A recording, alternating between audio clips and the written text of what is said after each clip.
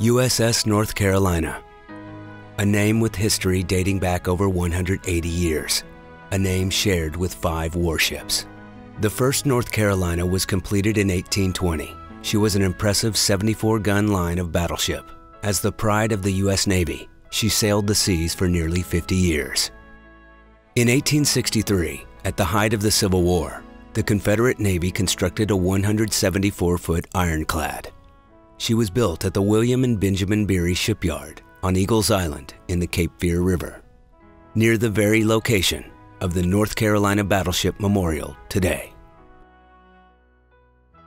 For the United States Navy, the second North Carolina was an armored cruiser, which joined the fleet in 1908, becoming a pioneer in naval aviation. Today, USS North Carolina is a state-of-the-art Virginia-class submarine, SSN 777. Her commissioning ceremony was on May 3, 2008, in Wilmington, North Carolina, with many of the original World War II crew members from the BB-55 present. USS North Carolina BB-55, the showboat. Authorized on June 3, 1936 by the United States Congress during a time of increasing global tensions her keel was laid at the New York Naval Yard on October 27th. After nearly three years of construction, North Carolina was christened on June 13, 1940. North Carolina's Governor, Clyde Hoey, stated at the ceremony, Its very power is fascinating. It commands our respect of the world. It speaks a language even a dictator can understand. The tones of his words were not lost on the audience. With the smash of the traditional champagne bottle by the governor's daughter, a cheering crowd of over 54,000 watched as the hull slid into the East River. For the next 10 months, construction continued as she was fitted out with her superstructure and various armaments. By the spring of 1941, much of the world's attention was on the deteriorating situation across the globe as Adolf Hitler's fascist regime seized control over most of Europe Japan occupied China and was threatening Southeast Asia. April 9, 1941. The United States Navy commissioned the first battleship in 16 years, North Carolina BB-55, widely acclaimed as the most powerful warship in the world. The Washington and the North Carolina were the first battleships to be commissioned since the 1923 treaty with Japan and uh, all the other nations and we were first. During her shakedown trials, the USS North Carolina made frequent trips to the New York Naval Yard for modifications. Notable journalist Walter Winchell often reported of sightings of the powerful warship on his radio show, calling her the Showboat after the Broadway musical.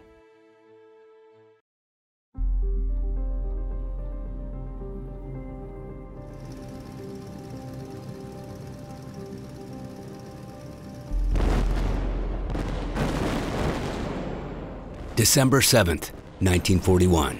News of the Japanese sneak attacks on Pearl Harbor came across the radio of the USS North Carolina as she was on shakedown, testing her guns and equipment and training the crew. The implications of this vicious assault on the United States naval fleet were staggering as the showboat unknowingly prepared to face off against the Imperial Japanese Navy. And then we left at the end of May 30th of May through the canal up the west coast. 11th of July, we ended up in Pearl Harbor. Crowds began to gather as news of an approaching ship spread across Pearl Harbor. And they were cheering like crazy. I think, we, and we always said, they think we won the war already, and we hadn't even got into it yet. and uh, and then uh, then from there we went to uh, Guadalcanal and from Guadalcanal to Tokyo for the next four years. August 7th, 1942. North Carolina was assigned the task of escorting the aircraft carriers Enterprise and Saratoga for her first battle in the campaign of the Solomon Islands and Guadalcanal. The Solomons campaign erupted in a bloody battle. North Carolina proved herself in a baptism of fire On August 24, 1942, at the Battle of the Eastern Solomons, shooting down seven enemy planes, firmly establishing her role as protector of the aircraft carrier. September 15th, 1942. A devastating day for the United States Navy. Three torpedoes launched from the Japanese sub I-19 struck the USS Wasp, engulfing her decks in flames. I was going up to my uh, my actual workstation. I thought I was working, and I looked up and I saw the the Wasp get hit with the to torpedo, two of them. I was looking out, and I was watching the Wasp burn. So I says, "Whoa, what's going on here?" Because we wasn't at general quarters. As North Carolina began to pick up speed, keeping up with her task force, an explosion rocked the battleship as a torpedo slammed into her port bow. A geyser of water and oil shot into the air as high as the superstructure and came crashing down on the deck, washing one sailor overboard. Four other men also lost their lives in the third deck passageway and washroom, and over 23 men were injured. And uh, we left the convoy we were in and we headed back to Pearl Harbor. And on the way back, we stopped at uh, one of the islands and we buried our dead.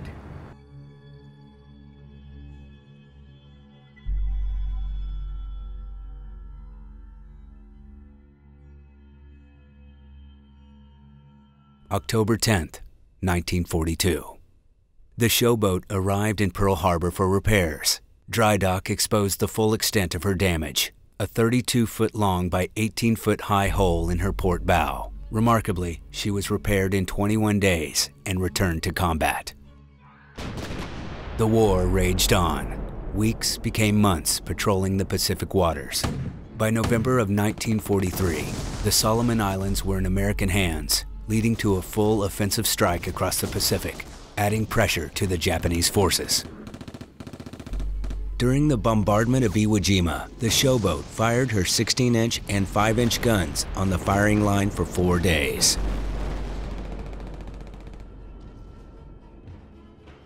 July 17, 1945. North Carolina began the bombardment of the Hitachi Industrial Complex, along with five other battleships on the east coast of Honshu. The Japanese counterattacks never came, and in early August, orders were given to cease all operations and retreat seaward 300 miles. August 6th, news of the atomic bomb being dropped on Hiroshima came, and on August 9th, Nagasaki. Three long weeks passed before Japan's formal surrender. September 2nd, 1945. Captain B. Hall Hanlon announced to the crew of the USS North Carolina that the war was officially over.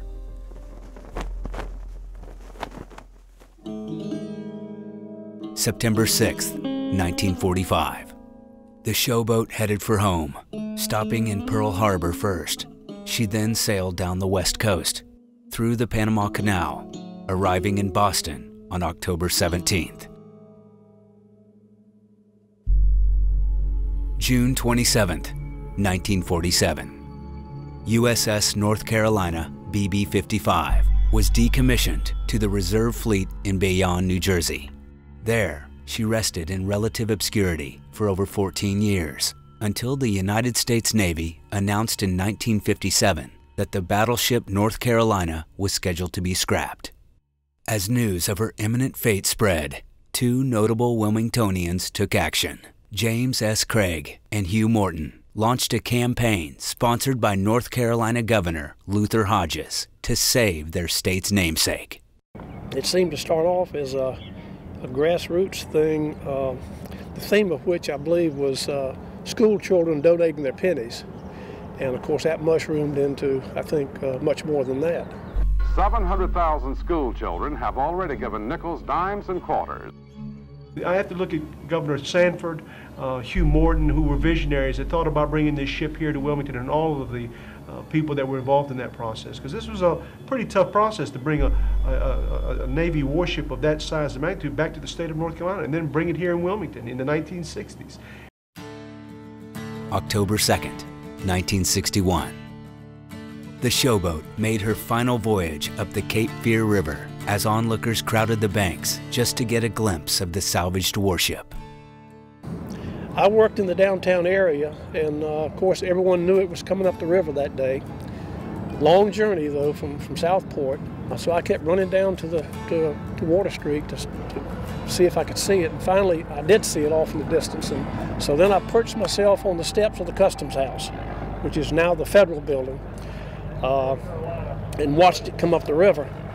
And uh, it, it, was an ominous sight. It was uh, faded gray.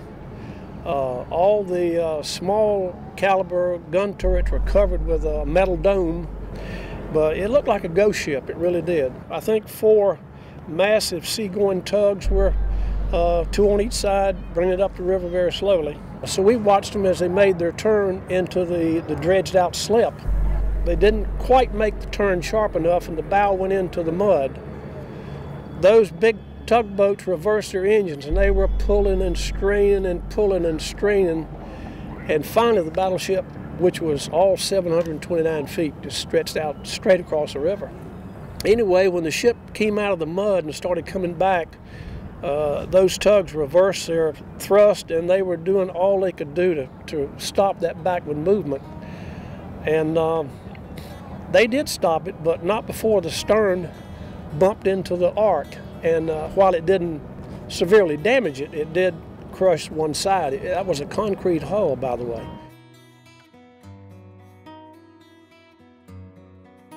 April 29th, 1962. After extensive restoration, the North Carolina was dedicated as a memorial to the men and women of North Carolina who served during World War II and the nearly 10,000 servicemen and women who gave their lives. Today, the battleship North Carolina stands as a testimony to the greatest generation. The showboat's teak decks are now manned by a different crew. A small staff oversees her operations. I'm uh, Captain Terry Bragg. Uh, I grew up in North Carolina, in Jacksonville, North Carolina. In 2008, I retired after 30 years in the Navy as a Navy captain. And uh, I'm one of many uh, long line of uh, executive directors who have been hired to run the day-to-day -day management staff. I'm Museum Services Director here at the Battleship. I've been here 20 years. I came in March of 1990 as the curator, um, but I didn't, you know, I didn't know a lot about the Navy.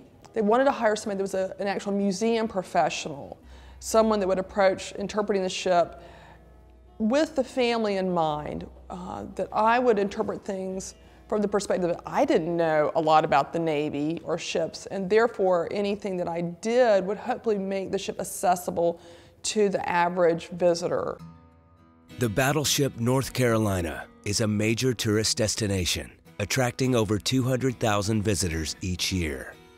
Self-guided walking tours weave through the wartime vessel. Programs offer guests unique and personal experiences. There's um, programs set for school groups and scout groups, and so you have uh, educational programs. Then you have more of what we call adult learning programs, and those would be Hidden Battleship, the firepower, power plant where um, people come in and they get this really intense um, understanding of how uh, the ship operated and that's usually handled by our curators and museum department. North Carolina is one of few surviving vessels from the most powerful naval force ever assembled. The job of preserving her history and maintaining her integrity is an imperative mission for the battleship staff. We're all just caretakers. And then when we're gone, there'll be another generation of caretakers. And you hope that that continues. We're, we're not just a, uh, a memorial, we're not just a tourist attraction, but uh, when you have a 729 foot naval ship, 40,000 tons, uh, you, you have an obligation to, to the prime artifact, which is the ship. Please enjoy your visit at the USS North Carolina Battleship Memorial.